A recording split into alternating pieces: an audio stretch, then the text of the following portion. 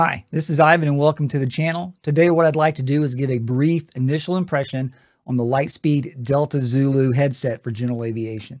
Very specifically what I'd like to do is kind of compare them to the Zulu 3s also by Lightspeed. I think there's a large number of pilots out there who are considering upgrading and I'd like to discuss the pros and cons and my just again an, an initial impression here on the ground. I plan on doing a follow-up video where I, I kind of do a, a, a, test up in the air and how they sound in an actual uh, flying environment. But for today, we're going to discuss just the features and how they do um, here on the ground. I have done some testing with these. Uh, I have a uh, USB adapter specifically for general aviation headsets, the FSX Dual that I use for my flight simulator. And that's been very awesome in helping me kind of test and do some comparisons here in my studio. So let me go ahead and show you what we're talking about here. And so right off the bat, just looking at the form factor, it's very similar. Clearly there's some color differences uh, with this kind of uh, bronzish kind of color here, but the headsets are almost identical in terms of, of the form factor. Uh, very similar weight. In fact, there's only a 0.3 ounce difference, which is more of a difference on paper than actual practice. I, I myself cannot tell the difference when I'm wearing them, which one is heavier. Um, very similar in terms of the mics seem the same. The boom mics are the same. The material that they're made of is the same, same very durable. I've owned these Zulu 3s for about two years, a little over two years, and I've really uh, enjoyed them. They sound great. Uh, they're a noise reduction, noise canceling is is top notch, and certainly compared to headsets without noise canceling, they are amazing. Uh, again, very similar in terms of of form factor, with a difference. One big difference being the actual battery compartment. You can see here that the both of the cords come from the top. I typically fly in a 172 and this is nice. I can just drop it in the pocket and that's pretty, pretty nice compared to the Zulu 3s, which as you recall, come out of the top and the bottom, which is really no big deal. You just do like that and drop it in and it's, and it, and it works. It's, it's never been an issue. They both have this amazing uh, Kevlar cord, which I, in a former lifetime, was a uh, owned a recording studio and my goodness, I wish all cables were made like this. It's kind of freaky the way they they just it's very hard to get them tangled up. They're very durable. Uh, the whole headset is very durable. To be honest with you, these Zulu threes I've just stuffed in my flight bag. There's no other protection. I have a, a mount for my iPad that rubs up against it all the time. I don't, they they barely have a mark on them, and they've really held up well. I'm not very gentle on these headsets. And so I, I, my expectation is, given that the materials are the same and the and the craftsmanship looks very similar, I feel like this is going to last just as well. Um, time will tell on that. So that's pretty much those features. In terms of other specs, they they are identical in terms of frequency response. Um, the microphones, if I looking at the spec sheets on the website, the rest of that is is essentially identical. Now battery life is going to be different and now I'm going to kind of wait to see how that works. I have gotten really good battery life on my Zelta on my um, uh, Zulu threes. Um, I no complaints there. We will see what the battery life on this is like. Um, this is a rechargeable unit, which is different from the Zulu threes. That's batteries, and then of course it comes with a little uh, additional adapter that you can put in regular batteries if you to have backup. So we'll kind of see what that how that goes. So what I'd also like to do is now talk a little bit about the app that comes with this. And I think that's going to be a big uh, feature and, and not just the app, but the, the, the feature that comes along with the app that the app's control. So let's, let's bring that up. And what I'm going to do here is I've got the, the app up here and you can see on the screen. And you can also see that the Delta Zulu is connected. Um, if I were to turn this off and turn it back on, it would say not connected and then reconnected. So right off the bat, it's showing the carbon monoxide detector. And so that's going to be, that's a big feature. That's something they really promoted when they were advertising in their, their ad campaign for these headsets as a safety feature. And we'll come back to that, but I, I, that's going to be an important consideration when when we when I make recommendation on who should upgrade to this, and maybe who could consider waiting for a little bit. The second thing, which actually I was more interested in, is the uh, hearing acuity. What this does, it's very interesting. This applies a um, EQ curve based off of a self-administered hearing test that you give utilizing the app. We'll kind of run through it real quickly. But let's say, for example, you're you have a hearing deficit of 1,000 kilohertz. And so what this will do is this will boost that frequency so you can hear things uh, uh, more clearly. At least that's the stated claim. And my initial testing, I believe that claim to be to be essentially accurate. And we'll go through the setup very quickly. So it's an interesting idea. And given the loud environment and the fact that a, a significant number of pilots are, I'm just going to say over 40, that, you know, that hearing deficits are probably more commonplace uh, than we think. Um, and so we'll kind of, we'll kind of discuss that. Well, let's go back here. Okay, let's talk about how to actually set this up. And what I'll do is we'll go through this component of the app again real quick. Uh, just briefly though, at the top you can see where it says hearing acuity, and then you can see where it says manage presets. If you click on the manage presets, it gives a number of built-in, like that's flat, that gives a bass boost, that gives a treble boost, a mid boost. This is saying for voice, this is their interpretation of what would be a good one for voice. And so you can add your own preset, but we're going to go to the hearing acuity and we're going to do a setup. So what we're going to do is hit setup. And very briefly, the way, uh, at least historically, the, the hearing tests that I've taken have been is that you're you sit in front of an audiologist, you're in a booth, you've got some headsets on, you've got a um, a button, and basically they will bring a tone from a very low volume, and as the tone comes up, once you're able to hear the tone you you press the button, and then that is recorded um, how loud, how many decibels that tone was when you were able to hear it. And that is how, at least again in my experience of taking hearing tests, that is what I have experienced. And so this is a little bit different. So what this does is you start out with the, hearing the tone, and then you're going to adjust from there. And I'll show you what I mean here. So we'll hit setup now. And he kind of gives you some guidance on how to adjust for your environment, basically indicating you want to be in a quiet room, which makes sense. And you want your headset to be unplugged from anything. So it shouldn't be plugged into anything. And then you're going to turn your phone, your device all the way up. And, it, and this gives you guidance for all this on the screen. So you don't really have to worry about remembering what to do. Hit next.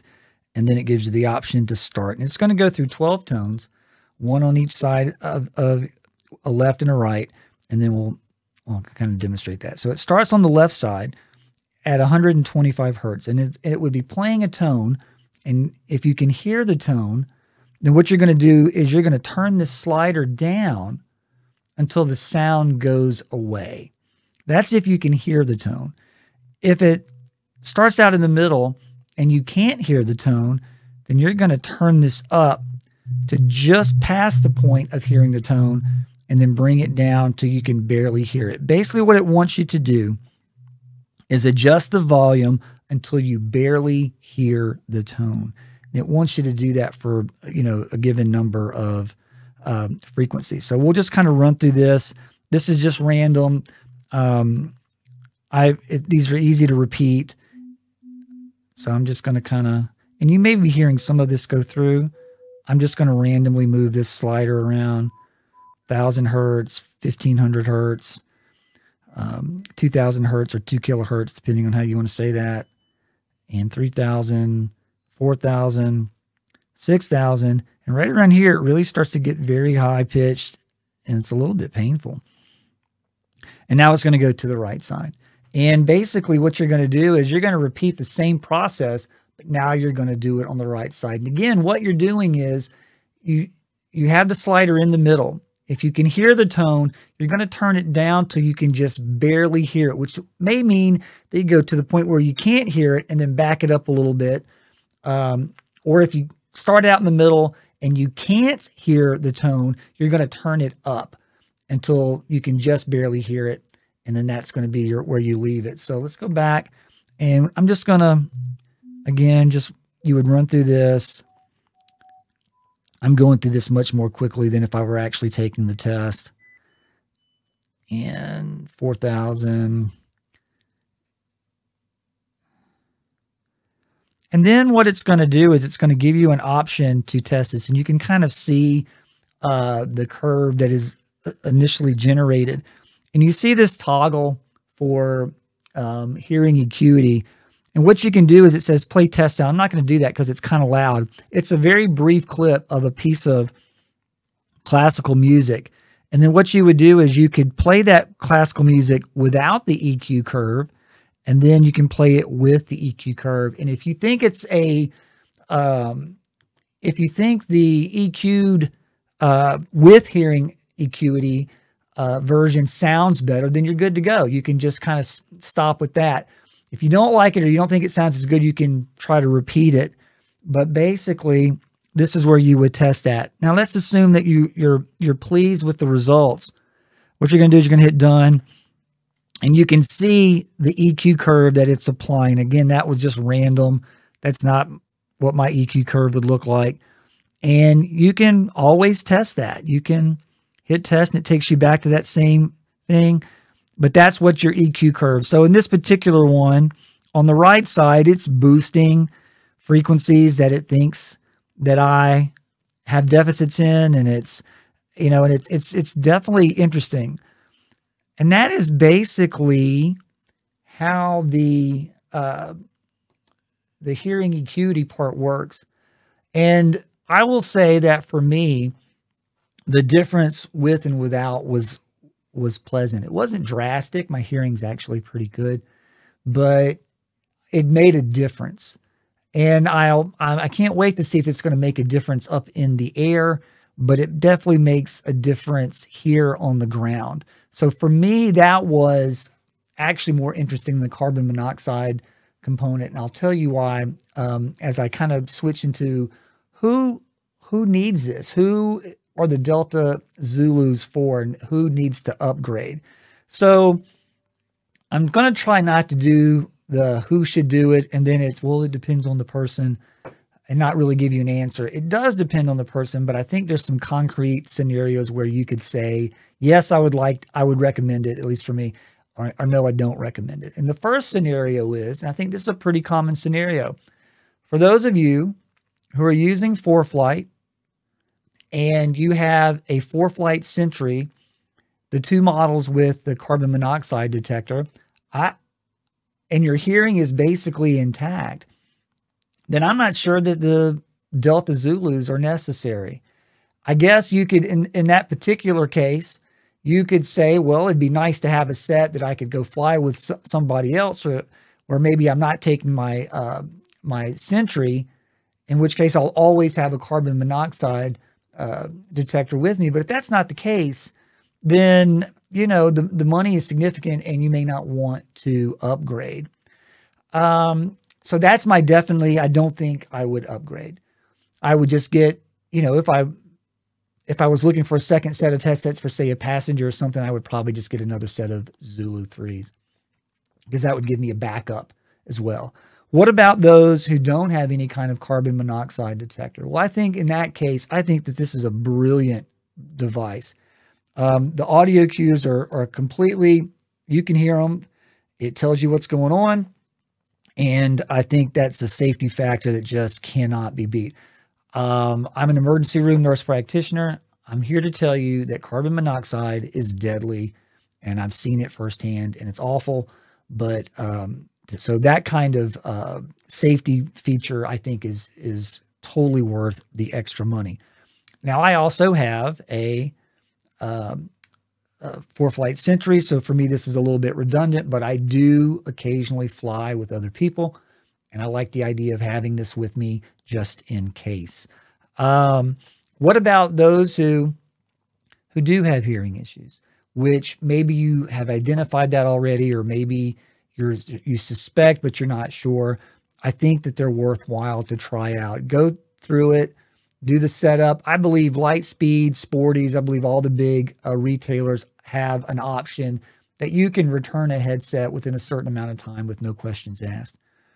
And I think if you suspect that you have a hearing deficit, um, or where you would like to maybe just get a little more clarity, I think that these headsets would probably be worth it. Um, at least my testing here on the ground. And again, I'm using a um, USB adapter, and it's been very pleasant. And I can I can have a controlled environment, and I'm able I've been able to test and It sounds like it would make a, a difference. It's not that big a difference for me, but again, my hearing my curve is relatively flat. But some of you may have some significant deficits. Um, those of you who have been around firearms, those of you who have been in aviation much longer than me, uh, maybe there's some EMS folks out there who are around a lot of decibels with a lot of impact. And over time, that repeated injury to a certain frequency, you know, maybe if you could just boost that one frequency a little bit, maybe that's the difference between understanding an ATC, uh, you know, direction or not. So I think for those who are um, suspecting of, of having a hearing deficit, that would be a good thing for. Adding a second set for passengers, if that's all you're looking for, I don't think that these are the headsets to do. I mean, um, like in my case, I'll wear the Delta Zulus and have my Zulu 3s as backup. Um, I may also gift these uh, to my son if he, he's thinking about becoming a pilot. We'll see how that goes. But in any case, I don't, if just a second set, no, I, I don't think I would do that but they are again they are a wonderful set. I, I i think this is some quality craftsmanship. What i also again what i plan on doing is a, um, a follow-up video on how these sound um, up in the air in a, in a loud environment. But i i i'm pretty sure that it's going to be worthwhile. Um, for me anyway i also like testing new gear so anyway, I hope this was helpful. And uh, if you have any questions, if I'm if I can answer them, I certainly will. Just leave them in the comments below. You guys have a great day.